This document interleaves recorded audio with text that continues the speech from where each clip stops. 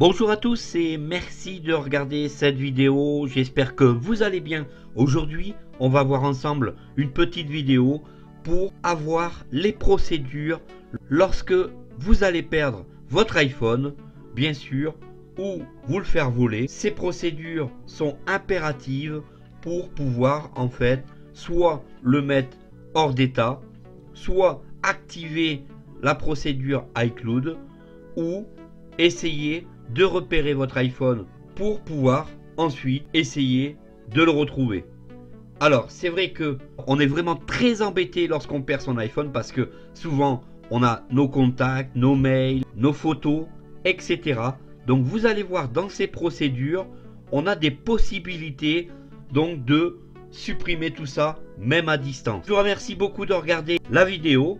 J'espère qu'elle vous plaira. Pensez bien à vous abonner car sur ma chaîne, plus de 200 vidéos de tutos, de démos et de présentations matérielles. C'est parti pour la présentation des différentes procédures. Sous la vidéo, je vous mettrai différents liens concernant toute la procédure de la vidéo. Allez donc, c'est parti pour la démo. Procédure à suivre en cas de perte ou de vol de votre iPhone, iPad ou iPhone Touch si vous égarez votre iPhone, iPad ou iPod Touch, ou pensez qu'il a été volé, vous pouvez suivre les étapes ci-dessous pour le localiser et, ainsi, vos données personnelles. Si la fonctionnalité Localiser mon iPhone est activée sur l'appareil égaré, la fonctionnalité Localiser mon iPhone peut vous permettre de retrouver votre appareil et de prendre les mesures nécessaires à la protection des données qu'il contient. Connectez-vous à l'adresse iCloud.com slash depuis un ordinateur Mac ou PC, ou utilisez l'application Localiser mon iPhone sur un autre appareil iPhone, iPad ou iPod Touch. De localiser votre appareil. Ouvrez l'application Localiser mon iPhone, puis sélectionnez un appareil afin d'afficher sa position sur une carte. Si l'appareil se trouve à proximité, vous pouvez lui faire émettre un son afin de le repérer plus facilement. 3. Activez le mode perdu.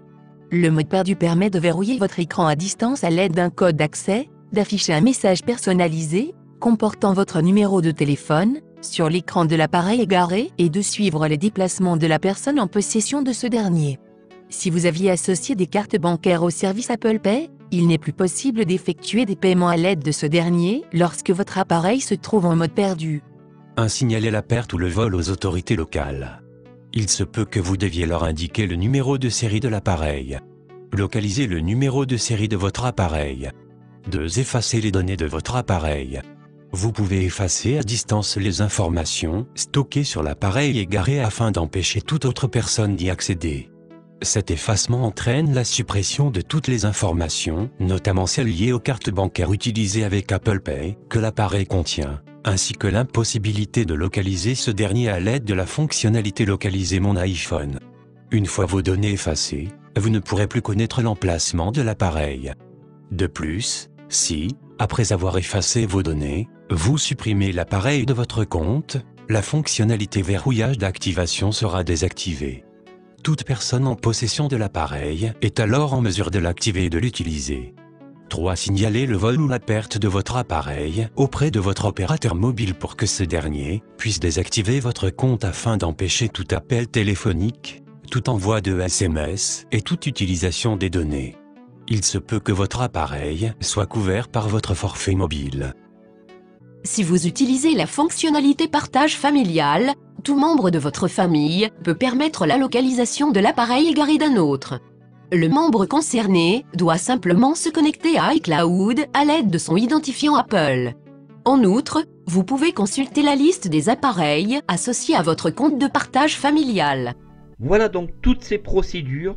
Je vous remercie beaucoup d'avoir regardé la vidéo jusqu'au bout. J'espère qu'elle vous aura plu. N'hésitez pas à mettre des commentaires sous la vidéo si vous en avez. Je me ferai donc un plaisir de vous répondre.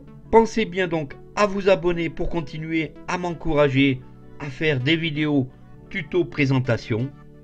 Et je vous dis donc à très bientôt pour la prochaine. Salut